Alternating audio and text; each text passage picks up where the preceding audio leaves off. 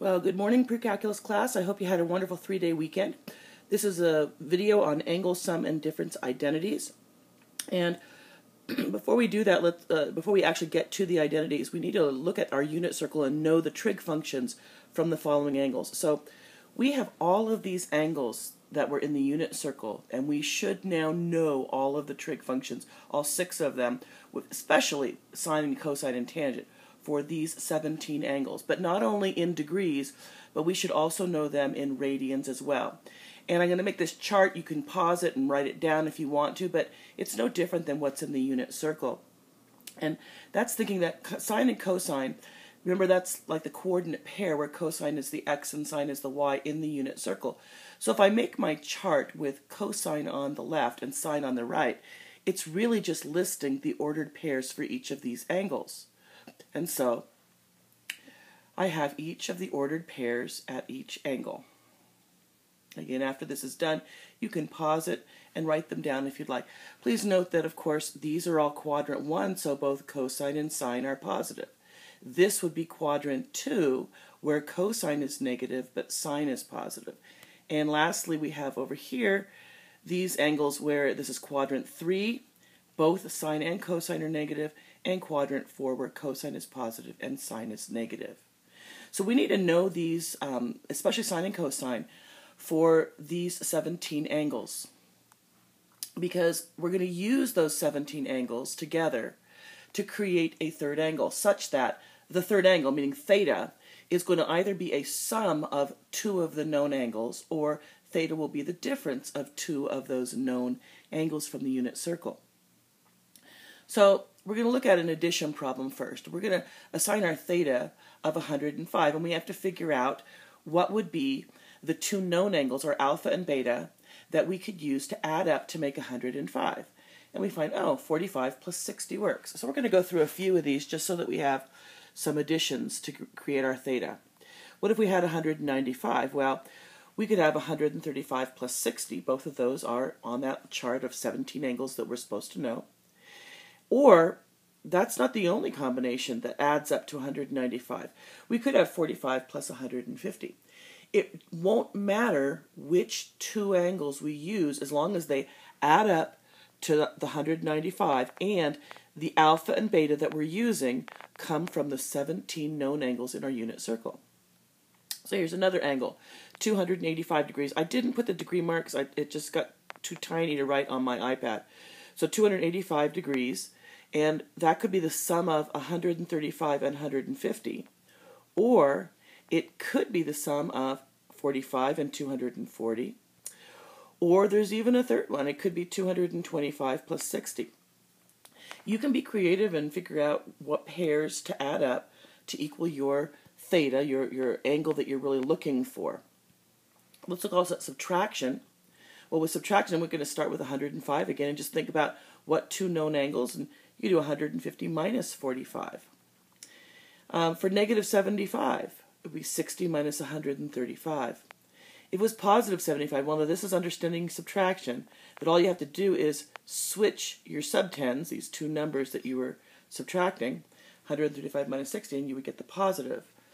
So now we, we've explored this idea of finding um, angle pairs that either add up to equal our, equal our theta, so we're using theta equals alpha plus beta, or you subtract them to get your theta. Let's also look, though, at radians, because that's important. So if, what if my, my theta was 5 pi over 12? Well, I could break that up into 2 pi over 12 and 3 pi over 12, and you might ask why. Well, that's because 2 pi over 12 reduces to pi over 6, a known angle. And 3 pi over 12 reduces to pi over 4, again, a known angle. So all of our radians, we're going to do the same thing. We're going to look at ways to add things up.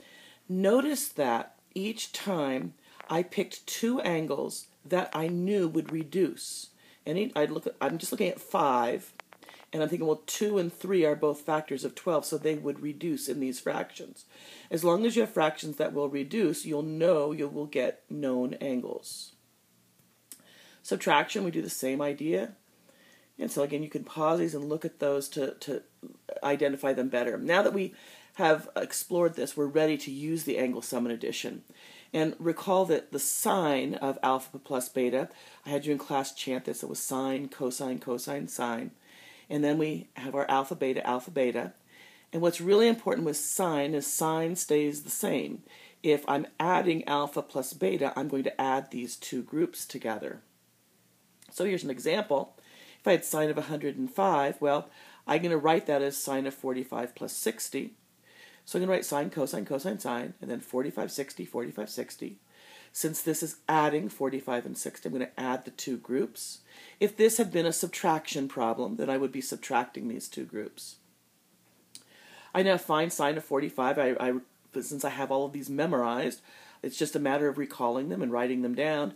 And remember, this is multiplication. Sine 45 times cosine of 60. So I'm multiplying these two factors, and I'm going to multiply these two factors and they have both have a common denominator of 4, and so I can write that as 1 fraction root 2 plus root 6 all over 4.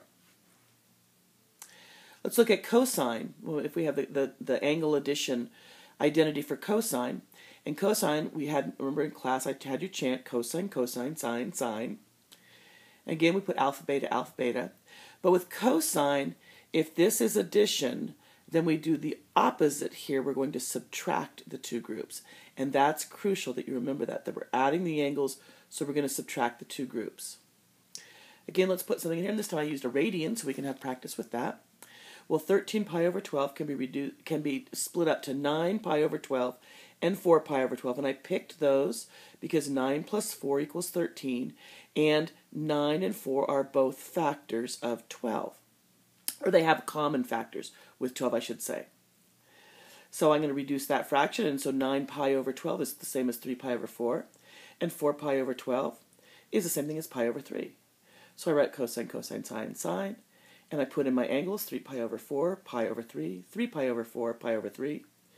Since this is addition, I'm going to subtract those two groups. I've got my memorized trig, um, my trig values here, so I put them in multiply. Notice I have a common denominator, and I have the final answer. On your handout, you also have angle addition identity for tangent. I am not going to be testing you on this identity, but I do want you to do it on the worksheet. So here it is. This is the um, angle addition identity using tangent, and here's the angle subtraction identity using tangent. You might want to pause the video and write those down.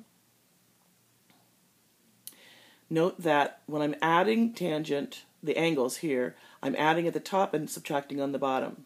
When I'm subtracting the two angles, I'm subtracting on the top and I'm adding on the bottom. That's just something to kind of remember it by. But write these down. Now, what I want you to do is practice three or four problems on the worksheet um, right now. Um, after this video is over with, do three or four problems. Make sure that you understand how to do it as an entire class, not just in your groups of four, I want you to create a classroom discussion to figure out are you having any issues? Are there any difficulties? Are there things you don't quite understand? Create, you know, come together and, and create two or three questions um, that you'll have prepared for me, and then have one student, not all of you, just one student is going to call on the speakerphone, and you could ask me the questions and we could work it out.